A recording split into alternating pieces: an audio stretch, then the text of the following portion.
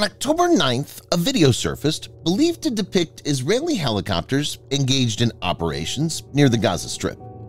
As per information shared on X, formerly known as Twitter, the video shows Israeli AH-64 Apache attack helicopters targeting Hamas militants using a 30mm chain gun and Hellfire missiles.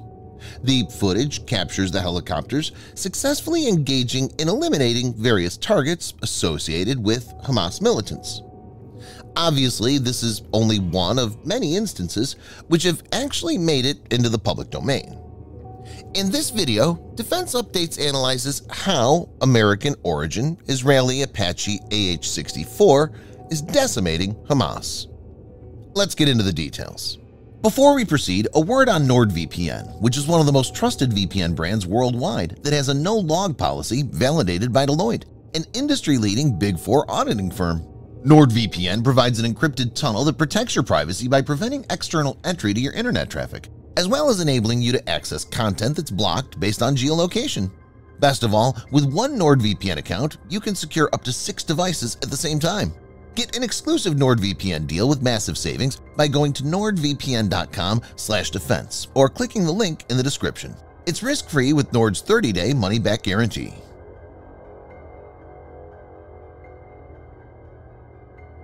The Boeing AH-64 Apache is an American twin turboshaft attack helicopter with a tailwheel-type landing gear arrangement and a tandem cockpit for a crew of two. It features a nose-mounted sensor suite for target acquisition and night vision systems. The AH-64 has significant systems redundancy to improve combat survivability. It has a range of 300 miles or 482 kilometers and a top speed of 182 miles per hour or 293 kilometers per hour.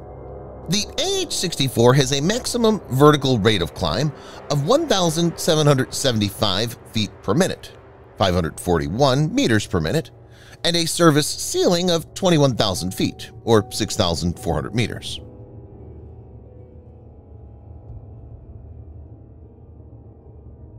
It's adaptable to numerous different roles within its context as Close Combat Attack, CCA.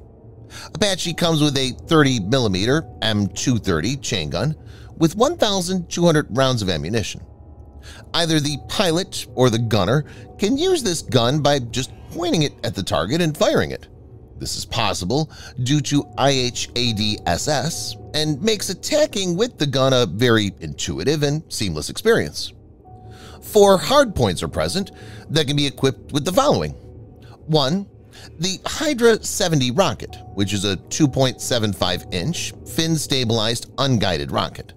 It's mainly used for air-to-ground attacks. It has a range of 8 kilometers or 5 miles. 2. Advanced Precision Kill Weapon System APKWS 70mm, which is an upgrade of Hydra 70.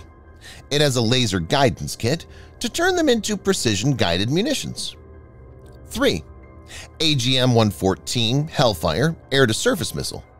Its variant can be deployed for anti-armor use, as well as precision strikes against other target types. The maximum range of this missile is 11 kilometers or 7 miles. 4. AIM-92 Stinger air-to-air -air missile. It has a range of 8 kilometers or 5 miles. A standard configuration for an armor mission will have 16 Hellfire missiles on four four-rail launchers. Each is capable of taking out a tank.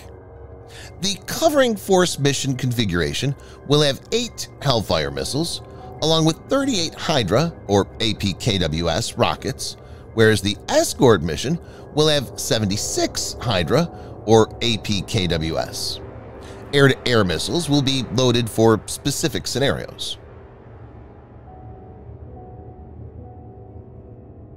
Since its introduction in April 1986, many variants of the platform have been developed. Israel maintains two squadrons of U.S.-manufactured Apache helicopters at the Ramon Air Base in the Negev Desert. These two squadrons are distinct in their helicopter models and nomenclature.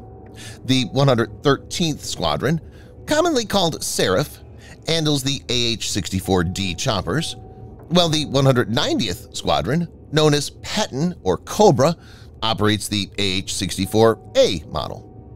Over the years, Israel has used Apaches against its enemies. During the 1990s, Israeli AH-64As frequently attacked Hezbollah outposts in Lebanon. IAF Apaches played a prominent role in the 2006 Lebanon War. The Apache helicopter continues to be a crucial asset for the Israeli Air Force, serving as a pivotal element in its capacity to engage a wide range of targets. This importance was emphasized in June 2023 as Israel deployed Apache attack helicopters in the West Bank for the first time in over two decades during a military operation in Jenin. The AH-64 Apache is known as one of the world's most advanced multi-role attack helicopters. It's an excellent platform and is particularly very useful in repelling any armored thrust.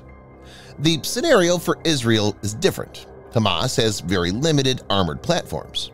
In this case, Apache is being used almost like a flying tank to suppress Hamas firepower as Israeli ground troops move in. The top-down view from the Helos is very useful in an urban environment, especially since Hamas has established a very intricate tunnel network in Gaza. While Hamas has received weapons from Iran and Hezbollah that could pose a threat, the excellent know-how of Israeli military leadership in planning and execution will mean that there's limited risk in deploying the Helos against Hamas. Technically, Hamas can't do much against Apache, and slow but surely, it will take a huge toll. Subscribe for more videos like this. Hit the like button if you find the video interesting, and kindly provide your feedback in the comment section. This will help us improve.